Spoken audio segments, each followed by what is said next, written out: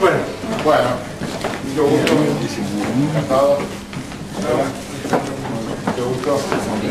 Mucho que viven en Italia, es un gran gusto y un gran honor poder dirigirme a ustedes. La verdad es que como vicepresidente de la República siempre tuve esta inquietud de que cada vez que me tocaba organizar una misión oficial, siempre le pedía a nuestros embajadores que organizaran una reunión con los uruguayos para poder intercambiar ideas, sentimientos y afectos por ellos.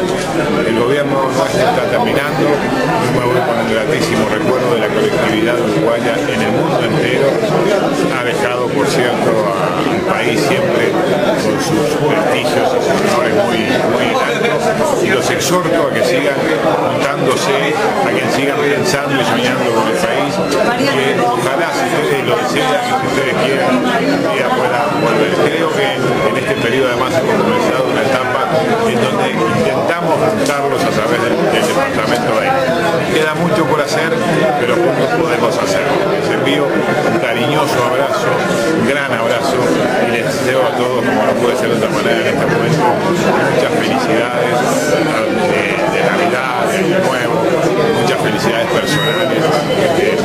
aficionados.